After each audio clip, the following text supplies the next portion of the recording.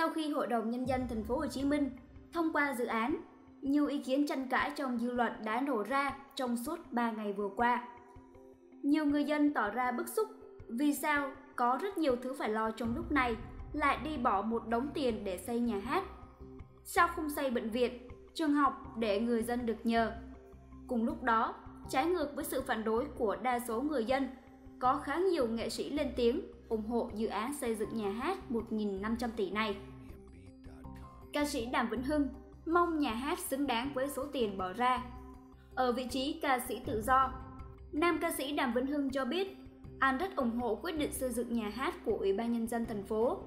Tuy nhiên, điều anh và cũng như mọi người dân khác mong mỏi là được nghe các cơ quan có liên quan trình bày cụ thể về chức năng và các tiện nghi bậc nhất, hiện đại nhất, văn minh nhất để mọi người đều thấy mọi thứ là xứng đáng với số tiền bỏ ra.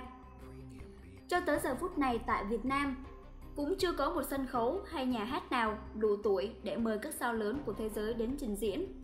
Hoặc có những lễ hội vô cùng đặc biệt, khiến hàng triệu khán giả Việt Nam mơ ước một lần đặt chân đến.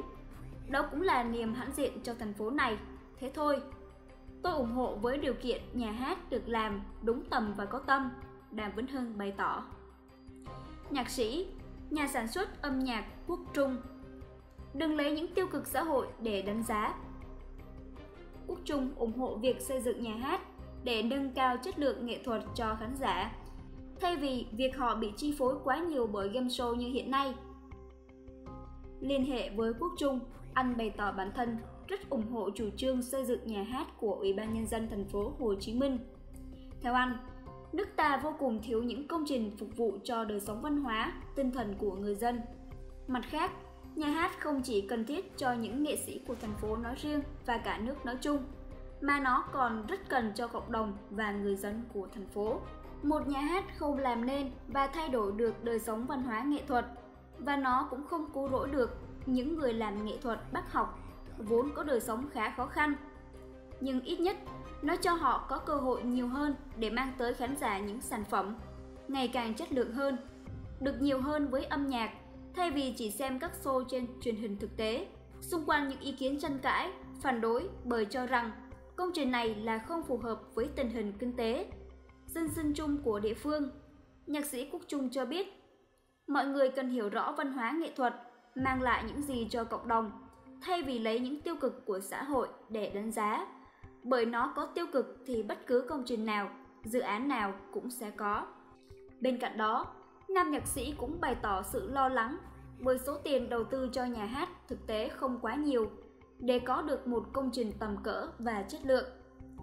Việc làm không đến nơi đến chốn để cuối cùng không sử dụng được thì sẽ còn gây lãng phí nhiều hơn. Nghệ sĩ ưu tú Tạ Minh Tâm, Phó Giám đốc Nhạc viện Thành phố Hồ Chí Minh, chắc chắn sẽ có nhiều người ủng hộ. Tạ Minh Tâm cho rằng Dự án nhà hát là món nợ mà cấp lãnh đạo cần phải trả cho nền âm nhạc thành phố. Bởi chủ trương, xây dựng nhà hát giao hưởng đã có hơn 20 năm trước.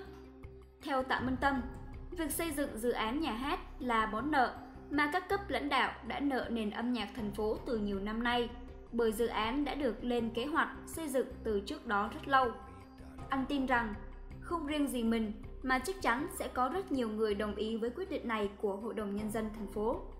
Phải hiểu rằng, nhà hát là công trình phúc lợi, cả về mặt vật chất lẫn tinh thần, chứ không phải xây nên để cho có hay lãng phí tiền của nhân dân. Nếu có điều kiện, tôi khuyến khích không chỉ xây một mà cần nhân rộng nhiều nhà hát trên địa bàn thành phố Hồ Chí Minh.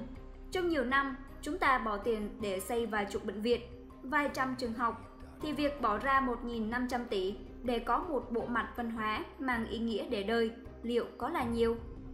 Cũng như vấn đề bắn pháo hoa, mọi người tranh cãi về việc có lãng phí hay không, nhưng thực tế, mỗi dịp lễ Tết từ xưa đến nay, bất cứ ai cũng đều vui vẻ khi thưởng thức nó.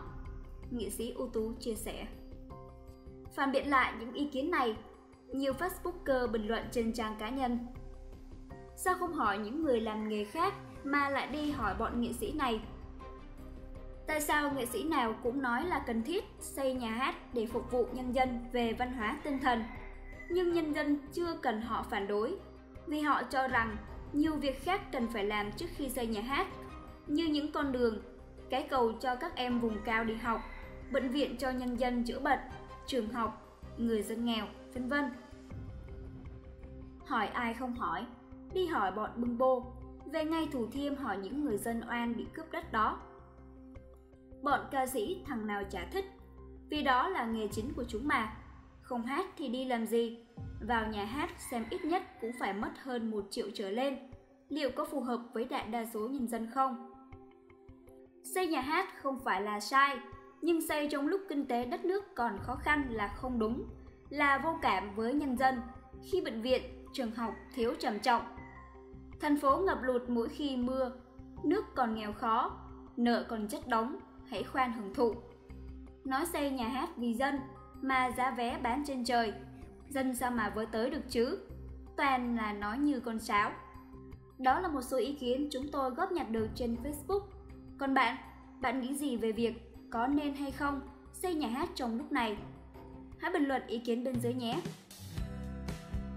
Cảm ơn các bạn đã theo dõi bản tin nóng được phát trên kênh Cà phê không đường news.